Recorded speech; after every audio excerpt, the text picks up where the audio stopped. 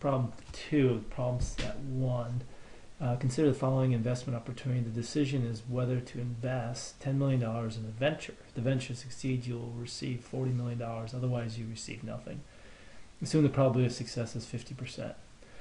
Uh, the best way to frame this type of problem is using a decision tree. Um, and so let's go ahead and see if we can draw a decision tree of our of this problem.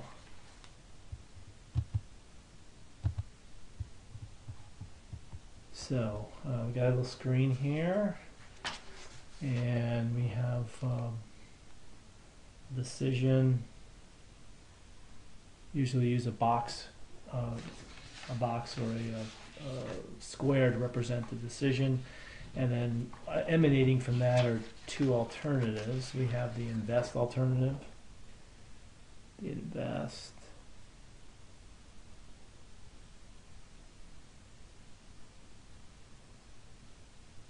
And then con- considering on the path there, we can either succeed, circle represents an uncertainty, succeed or fail. So we're just going to write down S or fail, F for fail. And then this, we assumed it's 0.5 probability of success, which means it has to be 0.5 probability of fail. Uh, for each uncertainty, you have this is mutually exclusive and collective exhaustive. It means there's no overlap between the different outcomes, and also the probabilities have to sum to one. And then the the other alternative is the not invest. So we'll just say this is not invest.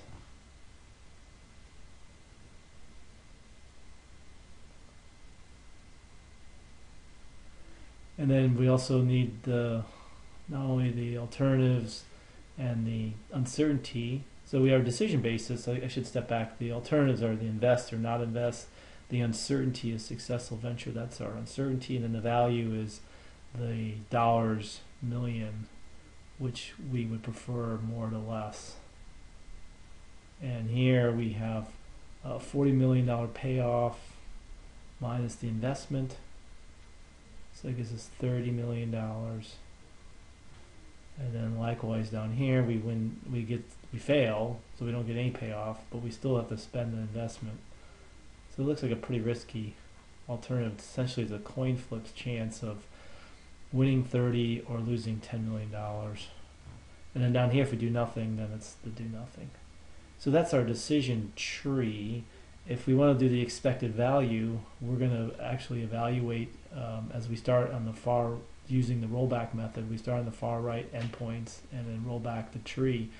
And the first node we come to is an uncertainty. That means we do the expectation of that. And so the expectation is going to be, uh, we'll write down here, part B is going to be uh, expected value of the invest is equal to 0.5 times 30 plus 0.5 times minus 10. if we go through that math, we'll get 15 minus 5, which is $10 million. So that's our expected value of the invest. The not invest is zero. So as we go through essentially this tree, we can say that this is now going to have a $10 million expected value. The expected value here, I use a circle just to say we're doing some calculation here. And in this case, I would not invest, but I would invest. So I use an arrow to represent investing and versus not investing. So this is the answer to part C. Part D says what happens if the probability of success is equal to 0.8. So in that case, our tree changes a little bit. See if I can erase this. Maybe I can't. Uh, not erasing very well. Taking a little bit of time to erase that. So if this is 0.8, then this has got to be what? Uh, the other branch, the fail branch. 1 minus that, or 0.2. So let's erase this guy. So this is going to be 0.2. So now our tr- our tree stays the same. It's just the probability changes. We think it's more likely that we're going to su- succeed. And then likewise, when we do the expected value, we get our eraser out. And we get the eraser out here. Eraser's not working very well. Um, oops. So down here we're going to have um, 0.8, 0.2, and we can get erase this whole match here.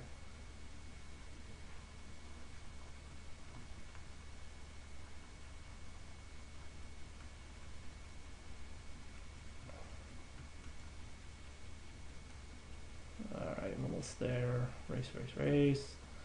And so we're left with 0.8 times 30, which is going to be 24. And this will be minus 0.2 times 10 is 2, so minus 2. So um, our expected value is $22 million. So it's actually increased quite a bit by having, based on um, uh, what we believe to be an increased chance of success. And that's an expert usually that's that's making that estimate. And then the last part, part E, asks for if it's 0.2, so these numbers essentially are going to switch. And rather than trying to erase this stuff, let me just write down the expected value for part E. So the expected value is 0.2 times 30 plus 0.8 times minus 10. If you go through that high level mathematics, you'll get um, 6 um, minus 8, so minus $2 million.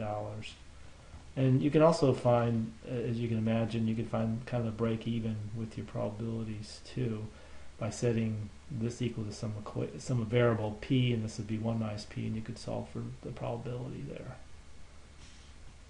Uh, so that's problem two.